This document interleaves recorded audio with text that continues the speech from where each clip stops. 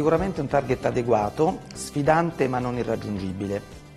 L'Europa ha una situazione energetica molto diversificata se guardiamo il nord, il centro, il sud del continente. Tuttavia è ricco ancora di risorsa rinnovabile che può essere utilizzata in campo eolico, idroelettrico, in parte diciamo, minore, certamente solare e eh, l'Italia è anche dotata un, del miglior potenziale geotermico disponibile. Cosa serve? Serve sicuramente un piano di investimenti importante, gli operatori fanno la loro parte in questo, eh, ma non basta solamente fissare dei target per raggiungerli,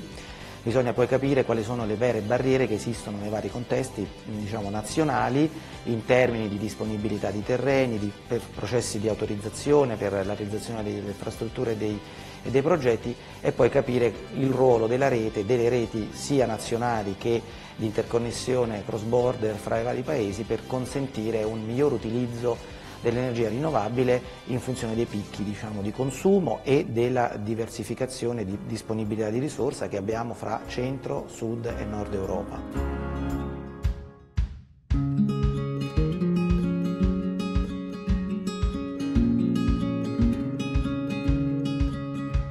Le prospettive sono fantastiche, eh, non possiamo trovare altro aggettivo, perché la crescita demografica unita all'accesso all'energia che vogliamo certamente eh, consentire ai nuovi abitanti del continente eh, richiedono una enorme espansione del parco di generazione. Questa espansione non potrà che avvenire attraverso fonti rinnovabili per due motivi. Il primo è quello economico. Eh, oggi le fonti rinnovabili costano meno di qualunque altra fonte convenzionale e il secondo è di sostenibilità, perché eh, consentire a 600 e più milioni di africani di cominciare a consumare energia all'inizio in modo dire, quasi primordiale e poi via via in modo più intensivo eh, creerebbe un impatto sul pianeta eh, insostenibile se non fosse eh, attraverso fonti rinnovabili. Le fonti rinnovabili hanno poi un altro grande vantaggio che permettono di modulare la dimensione di un investimento in funzione funzione della situazione del consumo locale, quindi si può pensare a progetti di sviluppo in ambito diciamo, mini grid, microgrid e poi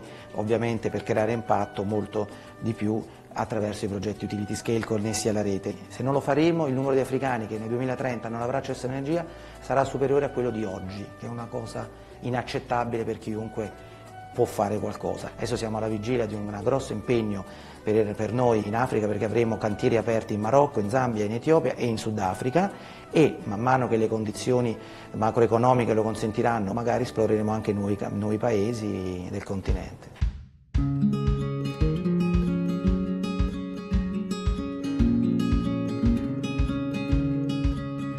Intanto noi siamo già il migliore, il primo perché noi siamo il numero uno al mondo per i PPA corporate, i cosiddetti CNI,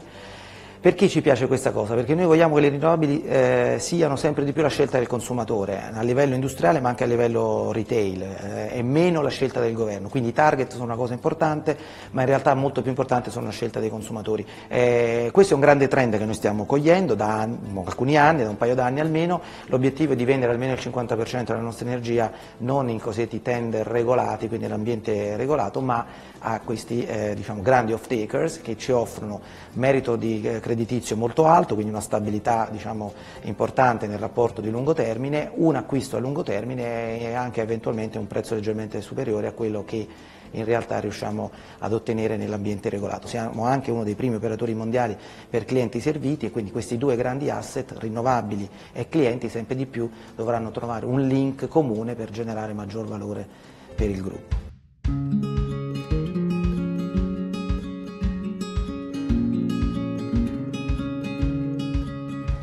2017 si è chiuso molto bene e il record diciamo, più mm, prestigioso per noi è quello di aver costruito 2,6 gigawatt di nuova capacità addizionale in 4-5 continenti essendo il primo operatore anche in questa dimensione. È un record che abbiamo diciamo, ormai alle nostre spalle perché nel 2018 siamo impegnati in costruirne circa 3 e poi nel 2019 ne faremo ancora di più, quindi siamo una grossa macchina in accelerazione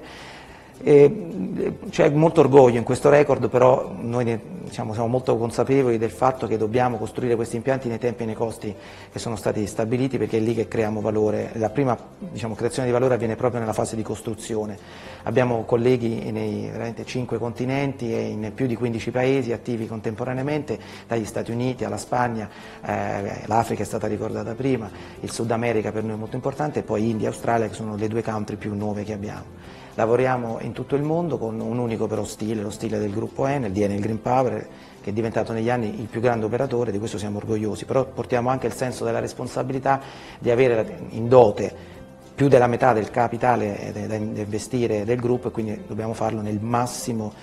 con il massimo scrupolo possibile, con la massima redditività possibile.